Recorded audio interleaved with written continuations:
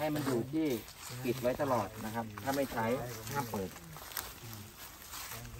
นะครับจริงถ้าเปิดตัวเนี้ยไฟมันก็จะโชว์โชว์หน้าจอเหมือนกัน อันนี้ข้อดีของรุ่นนี้ ถ้าตัวนี้เปิดมันก็จะไปโชว์หน้าจอว่าเราเปิดตัวนี้ เป็นโทนเป็นแบบไหนคะอ่าเดี๋ยวจะให้ดูในในนั้นดีกว่าเนาะอ๋อครับดูนะไฟขึ้นเยอะแยะเลยดูไม่เป็นแน่เลยอะดูดน้ำมีหัวไม่กไม่ระโหลกี่กตัวพี่ เดี๋ยวมีคู่มือ ส่วนนี้ก็คือกออากาศแบบสองชั้นเหมือนรถไถเนาะได้ก็ดูที่ปากเป็ด ถ้าปากเป็ดสกปรกก็ค่อยมาเป่าความสะอาด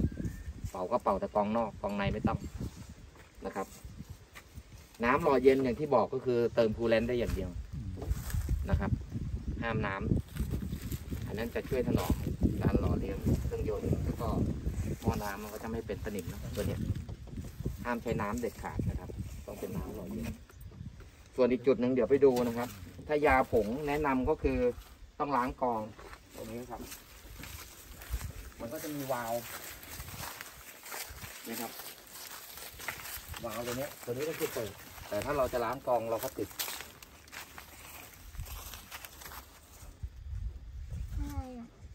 อันนี้จะเป็นวาล์วยาผงถ้ายาผงหนึ่งถังต่อล้างหนึ่งครั้งเพราะไม่งั้นเดี๋ยวเราจะพ่นไม่ออกอืม ปิดวาล์วก่อน แล้วก็เปิดตรงนี้ออกมา เปิดเลยค่ะอ่าขันมาให้ครับเพราะกรองมันจะละเอียด ครับครับกรองจะละเอียดอ่าเพื่อแต่ถ้ายาน้ำวันหนึ่งก็ได้ครับ การวันหนึ่งค่อยถอดมาล้าง ให้เศษเนาะทุกอย่างล้างมันก็จะเป็นแค่ตะแกรงพลาสติกข้างนอก แค่นั้นเอง อันนี้ของใหม่ก็จะถอดยากนิดนึงมันจะมีลูกยางอยู่มันจะแน่นนิดนึง เออออก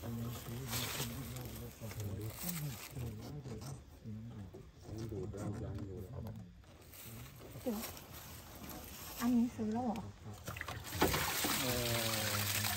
เนี่ยเราเราก็ล้างแค่นี้ไม่นะรู้พ่อตอนตรงนี้แหละครับล้างแค่นี้เองซื้อมันกรองละเอียดพ่ซื้ออยู่แล้วเนาะเงี้ยถามเลยที่พ่นไม่ออกเพราะว่ามันตันนะครับมันตัน มันไม่ออกน้ำมันไปไม่สะดวกเหมือนกองน้ำมันเสร็จแล้วใส่มันจะมีลูกยางเนาะอันนี้เราก็ยัดเข้าไป ดูนะครับผมก็ให้อย่างนี้ได้ครับ ซ้ายขวาได้หมด อ๋อ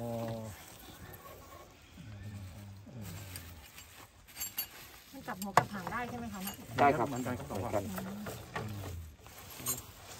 ไอ้ปุ่มแดงๆนั่นอะไรคะนั่นน่ะมีปุ่มพิเศษข้างบนด้วยเห็นปะ ดูดิมีปุ่มอะไรด้วยปุ่มแดงๆนั่นน่ะ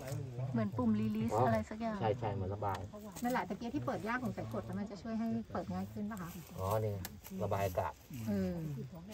เออถ้าถ้าถ้าถ้ามันไม่มีอากาศมันก็เปิดไม่ออกอะเนาะอันนี้ถ้าพ่นมือนะครับ เห็นก๊อกตัวนี้ไหมครับก๊อกตัวนี้จะมาเข้าตัวนี้ตอนนี้เราพ่นมือฟอกตัวนี้จะมาเข้าตัวนี้เปิดอ๋อ ก็เปิดแค่นั้นเองเป็นสายพ่นยาอ่าคองเราพ่นยเราก็แค่เปิดปั๊มนะครับ ไม่ต้องเปิดพัดลม เปิดเมนวาล์วเปิดปั๊ม เปิดตัวนี้แล้วก็พ่นมือพ่นมือตรงเร่งกี่รอบไม่ต้องเร่งเลยครับจริงๆอะถึงบอกว่าพ่นมือเนี่ย มันรอบแค่ไม่เกินพันสองอืมมันก็สูงมันก็แล้วมันก็สูงแล้วเออเพราะเร่งไปก็ไม่มีประโยชน์เอาไม่ไหวแล้วเพราะรอบมันรอบรอบปั๊มเหมือนปั๊มทั่วไปเลย รอบมันจะอยู่ประมาณนี้เองครับพันหนึ่งพันสองคือสตาร์ทมันก็พ่นได้แล้วอะอ๋อ สตาร์ทรอบปกติงั้นจริงๆแล้วถ้าป้องกันเครื่องเสียก็คือเร่งเร่งไว้แต่ว่ามันก็เปลืองน้ำมันโดยใช่เหตุใช่ไหมคะใช่ครับอ๋อแล้วมันเปลืองมากไหมคะมันกินน้ำมันไหมคะคุณพอหกสิบห้าแรงก็มันก็จะอยู่เรายังไม่เคยเนาะ